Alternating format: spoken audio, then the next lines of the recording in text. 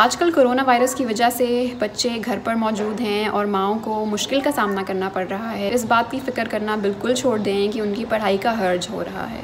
पढ़ाई तो पहले भी हो रही थी, बाद में भी होती रहेगी इन इस वक्त जो ज़रूरी है वो ये कि हम इस मौके का फ़ायदा उठाएँ और अपने बच्चों को बेहतर इकदार सिखा सकें।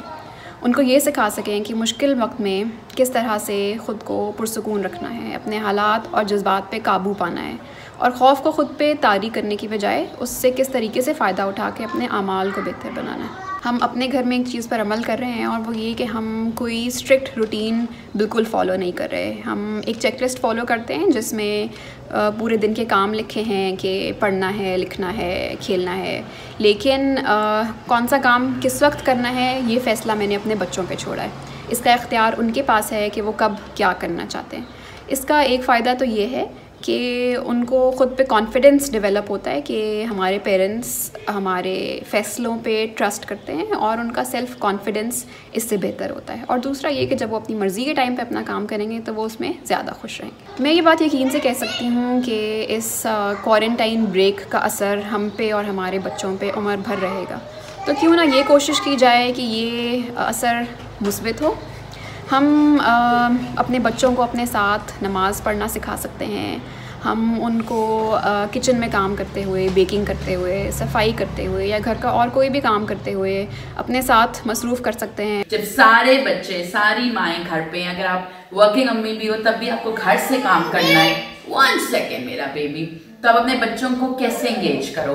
तो मेरी सबसे बड़ी टिप ये है कि आप इनको बेसिकली ना एक स्कूल का ही लाइक एनवायरमेंट और टाइम टेबल दो। लाइक मेरे बच्चे उसी टाइम पे उठते हैं सुबह छः बजे।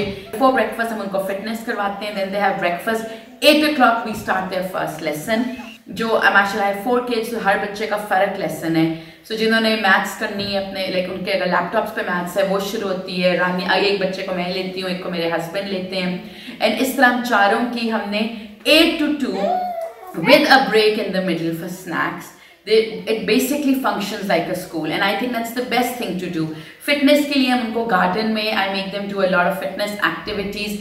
इसके अलावा this is a good time कि आप उनको इस्लाम के बारे में बताओ Ramzan is coming up. So keeping them in a routine is really important. Like my children sleep on time and इसके अलावा then जो हमारे पास extra time होता है अब we do daily one science project, one arts project, one crafts project, and then but the, you don't waste this time. ये एक opportunity है आपके पास to bond more with your children, to help them learn skills that they might never get the chance to.